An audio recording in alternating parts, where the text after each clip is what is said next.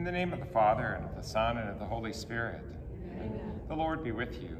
With. Today the Mass is offered for the souls in purgatory, and we honor today St. Jerome Emiliani. We can also remember St. Josephine Bakhita, uh, two different saints offered this day. Uh, St. Josephine Bakhita, the former slave and uh, someone who became a religious, uh, but today we'll honor Jerome Emiliani in the 1500s uh, an Italian priest who dedicated himself to the service of orphans and the poor, founding a religious order.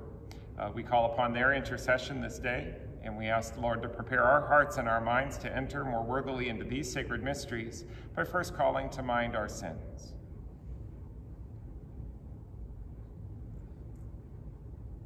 I confess to Almighty God and to you, my brothers and sisters, that I have greatly sinned in my thoughts and in my words, in what I have done, in what I have failed to do. Through my fault, through my fault, through my most grievous fault. Therefore I ask Blessed Mary, ever Virgin, all the angels and saints, and you, my brothers and sisters, to pray for me to the Lord our God. May Almighty God have mercy on us, forgive us our sins, and bring us to everlasting life. Amen. Lord, have mercy. Lord, have mercy. Christ have mercy. Lord have mercy. Lord have mercy. Let us pray. O God, Father of mercies, who sent St. Jerome Emiliani as a helper and father to orphans, grant through his intercession that we may preserve faithfully the spirit of adoption by which we are called and truly are your children. Through our Lord Jesus Christ, your Son, who lives and reigns with you in the unity of the Holy Spirit, one God, forever and ever.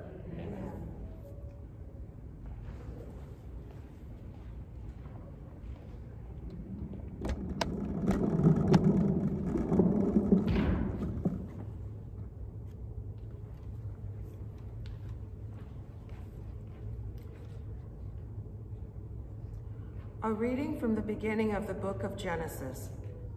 In the beginning, when God created the heavens and the earth, the earth was a formless wasteland, and a darkness covered the abyss, while a mighty wind swept over the waters. Then God said, Let there be light, and there was light. God saw how good the light was. God then separated the light from the darkness.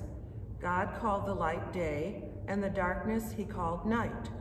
Thus evening came, and morning followed, the first day. Then God said, let there be a dome in the middle of the waters to separate one body of water from the other. And so it happened. God made the dome, and it separated the water above the dome from the water below it. God called the dome the sky. Evening came, and morning followed, the second day. Then God said, Let the water under the sky be gathered into a single basin, so that the dry land may appear. And so it happened. The water under the sky was gathered into its basin, and the dry land appeared. God called the dry land the earth, and the basin of the water he called the sea. God saw how good it was. Then God said, Let the earth bring forth vegetation, every kind of plant that bears seed, and every kind of fruit tree on earth that bears fruit with its seed in it. And so it happened. The earth brought forth every kind of plant that bears seed, and every kind of fruit tree on earth that bears fruit with its seed in it. God saw how good it was. Evening came and morning followed, the third day. Then God said, Let there be lights in the dome of the sky to separate day from night. Let them mark the fixed times, the days and the years, and serve as luminaries in the dome of the sky to shed light upon the earth. And so it happened. God made the two great lights, the greater one to govern the day, and the lesser one to govern the night. And he made the stars. God set them in the dome of the sky to shed light upon the earth, to govern the day and the night, and to separate the light from the darkness. God saw how good it was. Evening came and morning followed, the fourth day. The word of the Lord. Thanks. May the Lord be glad in his works. Bless the Lord, O my soul. O Lord, my God, you are great indeed. You are clothed with the majesty and glory, robed in light as with a cloak. You fix the earth upon its foundation, not to be moved forever. With the ocean as with a garment, you covered it.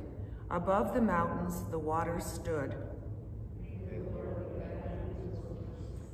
You send forth springs into the watercourses that wind among the mountains.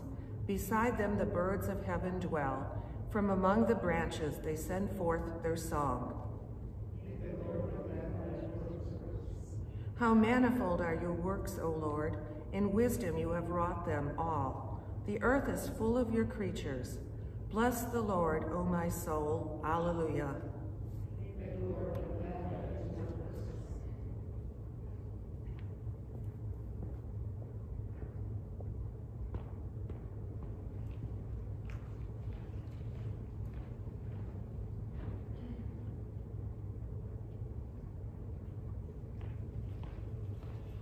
Alleluia, Alleluia, Alleluia.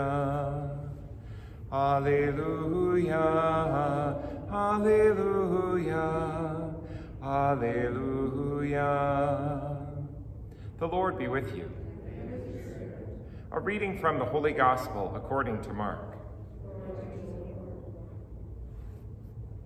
After making the crossing to the other side of the sea, Jesus and his disciples came to land at Gennesaret and tied up there. As they were leaving the boat, people immediately recognized him. They scurried about the surrounding country and began to bring in the sick on mats to wherever they heard he was. Whatever villages or towns or countryside he entered, they laid the sick in the marketplaces and begged him that they might touch only the tassel on his cloak. And as many touched it were healed. The Gospel of the Lord.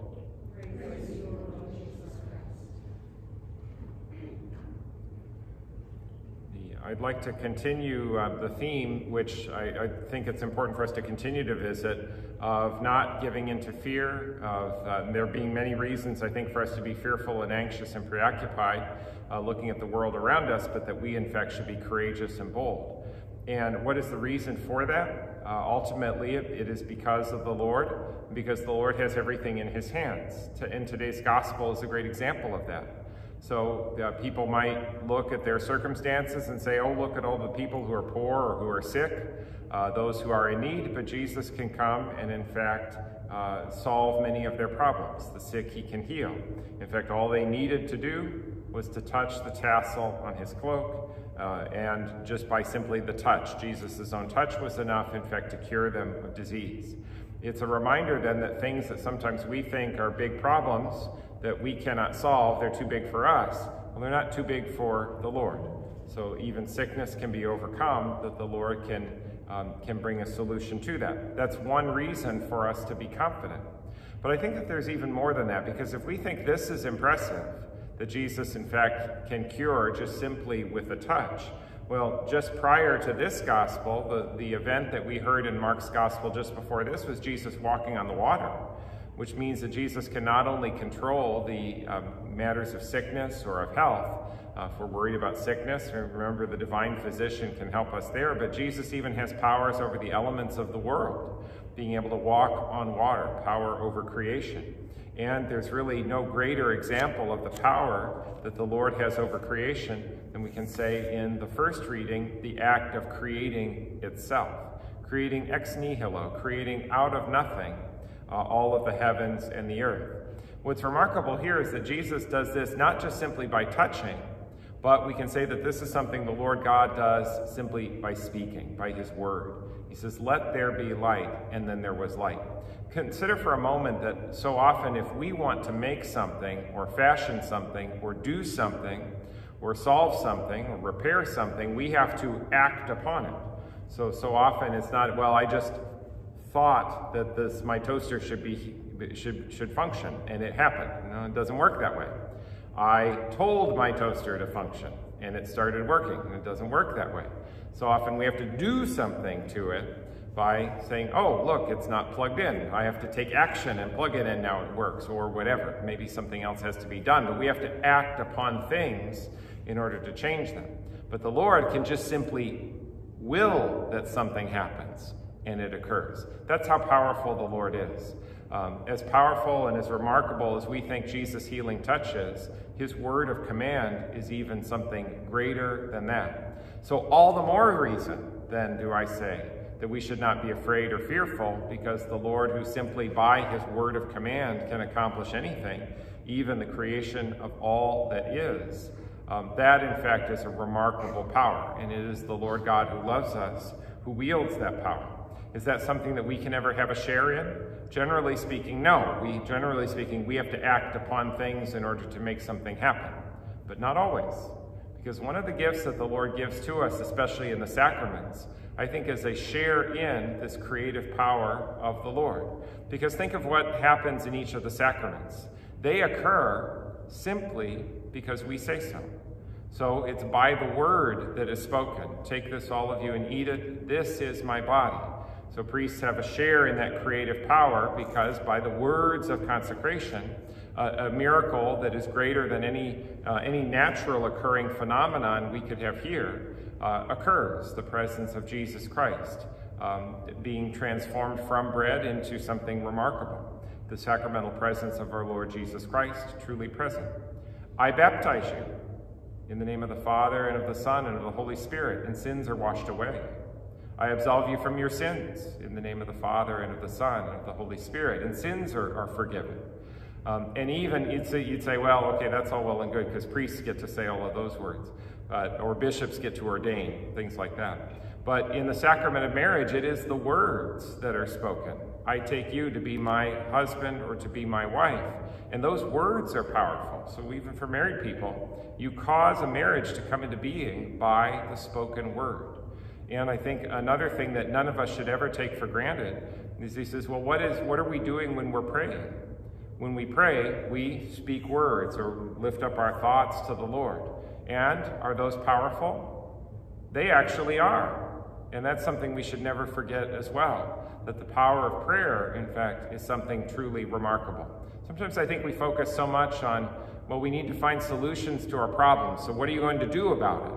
Well, sometimes the best thing for us to do about it is to take this to the Lord and let the words of our prayer carry effect, not because our, we can make our words have that effect, but because the Lord hears prayers and answers them. And in fact, there is, is according to the Lord's promise, as we lift up our prayers uh, to the Lord, that in fact they are powerful indeed. These are things that I think we should never take for granted. So remember that the Lord is powerful, greater than the, the trials that we face in this world. And remember that in the Lord, we also are powerful. That by faith, in fact, the faith can conquer the world. And so it gives us also every reason for confidence. So, a little word of encouragement. Let us not be fearful. Let us not give in to uh, any fear or trepidation that we see around us. Sure, we can see many signs of trouble and anxiety in the world, but remember that Jesus has not been overcome by the world, but he has come, in fact, to save the world. And it's in the power of Christ our Savior that we can go forward with boldness and courage.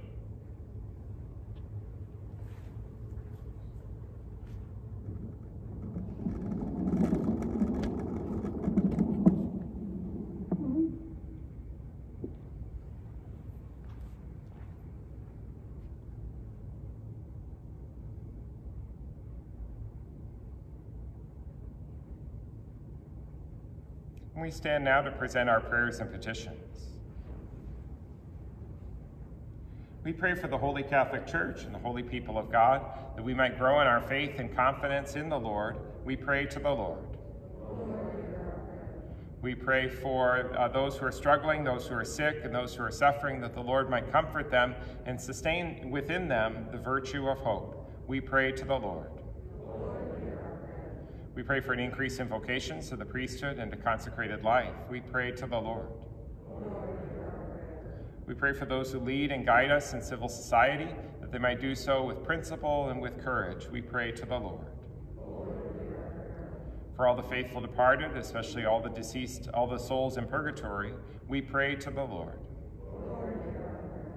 and we pray for the protection of our own religious liberties, our own freedom of conscience, and the freedoms of the Catholic Church. St. Michael, the Archangel, defend us in battle. Be our protection against the wickedness and snares of the devil. May God rebuke him, we humbly pray. And do thou, O Prince of the heavenly host, by the divine power of God, cast into hell Satan and all the evil spirits who roam throughout the world seeking the ruin of souls. Amen. Almighty and merciful God, hear and answer these prayers that we make in faith, for we ask them through Christ our Lord.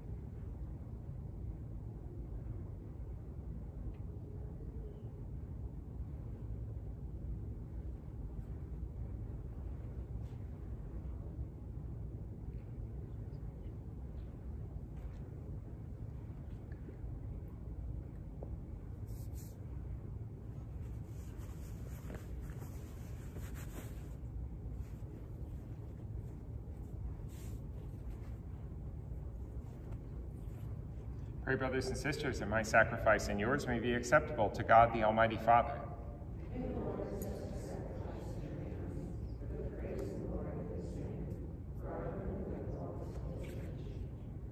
May the oblation made by your consecrated people in commemoration of St. Jerome Emiliani be acceptable to you, we pray, O Lord, and grant that by participation in this mystery we may reflect the pattern of your love. Through Christ our Lord. Amen. The Lord be with you. Lift up your hearts. Let us give thanks to the Lord our God. It is truly right and just, our duty and our salvation, always and everywhere to give you thanks, Lord, Holy Father, Almighty and eternal God. For you are praised in the company of your saints, and in crowning their merits you crown your own gifts. By their way of life you offer us an example. By communion with them you give us companionship. By their intercession, sure support so that encouraged by so great a cloud of witnesses, we may run as victors in the race before us, and win with them the imperishable crown of glory, through Christ our Lord. And so, with the angels and archangels, and with all the great multitude of saints, we sing the hymn of your praise as without end we acclaim. Holy, holy, holy, Lord God of hosts. Heaven and earth are full of your glory. Hosanna in the highest. Blessed is he who comes in the name of the Lord. Hosanna in the highest.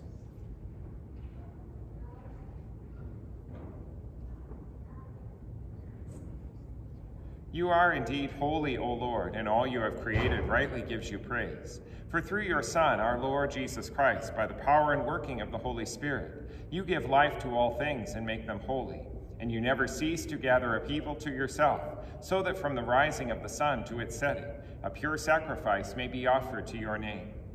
Therefore, O Lord, we humbly implore you, by the same Spirit, graciously make holy these gifts we have brought to you for consecration, that they may become the body and blood of your Son, our Lord Jesus Christ, at whose command we celebrate these mysteries.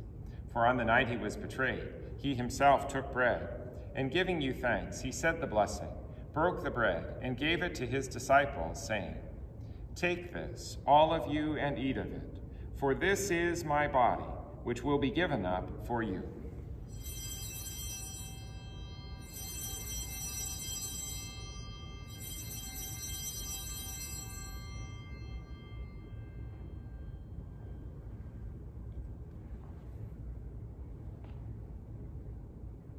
In a similar way, when supper was ended, he took the chalice, and giving you thanks, he said the blessing, and gave the chalice to his disciples, saying, Take this, all of you, and drink from it, for this is the chalice of my blood, the blood of the new and eternal covenant, which will be poured out for you and for many for the forgiveness of sins. Do this in memory of me.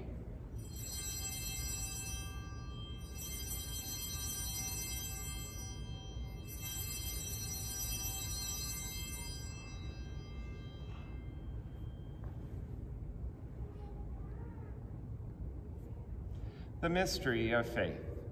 Save us, Savior of the world, for by your cross and resurrection you have set us free. Therefore, O Lord, as we celebrate the memorial of the saving passion of your Son, his wondrous resurrection and ascension into heaven, and as we look forward to his second coming, we offer you in thanksgiving this holy and living sacrifice. Look, we pray, upon the oblation of your church, and recognizing the sacrificial victim by whose death you will to reconcile us to yourself. Grant that we who are nourished by the body and blood of your Son, and filled with his Holy Spirit, may become one body, one spirit in Christ. May he make of us an eternal offering to you, so that we may obtain an inheritance with your elect, especially with the most blessed Virgin Mary, Mother of God, with blessed Joseph, her spouse, with your blessed apostles and glorious martyrs, with St. Jerome Emiliani, St. Josephine Bakhita, and with all the saints on whose constant intercession in your presence we rely for unfailing help. May this sacrifice of our reconciliation, we pray, O Lord, advance the peace and salvation of all the world. Be pleased to confirm in faith and charity your pilgrim church on earth. With your servant Francis, our Pope, Daniel, our Bishop, and Louis, as Assistant Bishop, the order of bishops, all the clergy, and the entire people you have gained for your own. Listen graciously to the prayers of this family whom you have summoned before you. In your compassion, O merciful Father, gather to yourself all your children scattered throughout the world.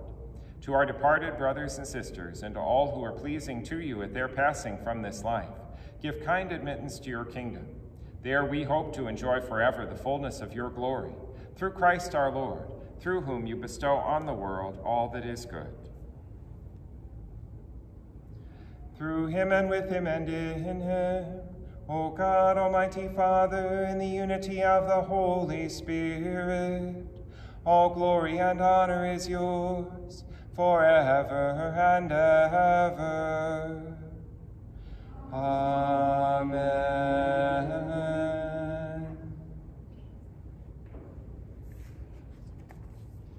At the Savior's command, informed by divine teaching, we dare to say, Our Father, who art in heaven, hallowed be thy name.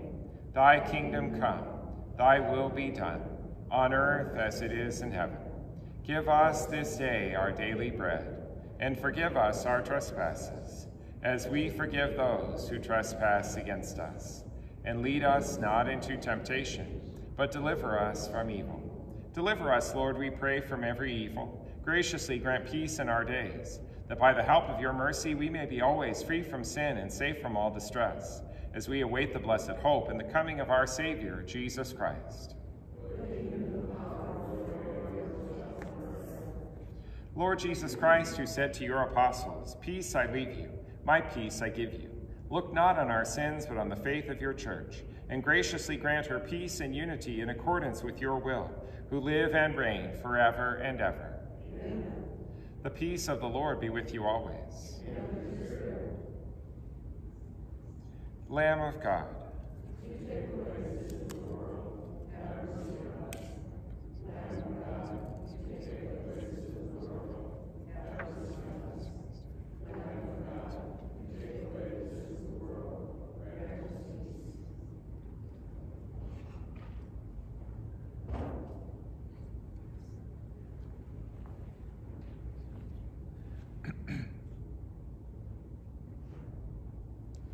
Behold the Lamb of God. Behold him who takes away the sins of the world. Blessed are those called to the supper of the Lamb. Lord, I am not worthy that you should enter under my roof, but only say the word, and my soul shall be healed.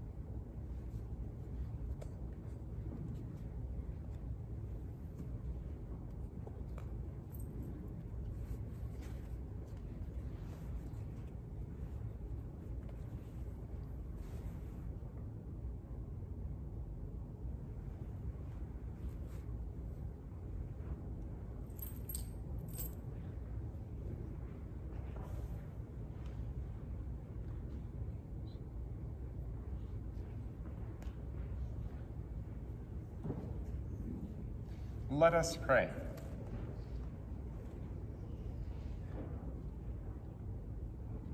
May this holy meal give us strength, Almighty God, so that by the example of St. Jerome Emiliani, we may show in our hearts and by our deeds both fraternal charity in the light and the light of truth. Through Christ our Lord. Amen. The Lord be with you. May Almighty God bless you, the Father, and the Son, and the Holy Spirit. Amen. Go forth. The Mass is ended.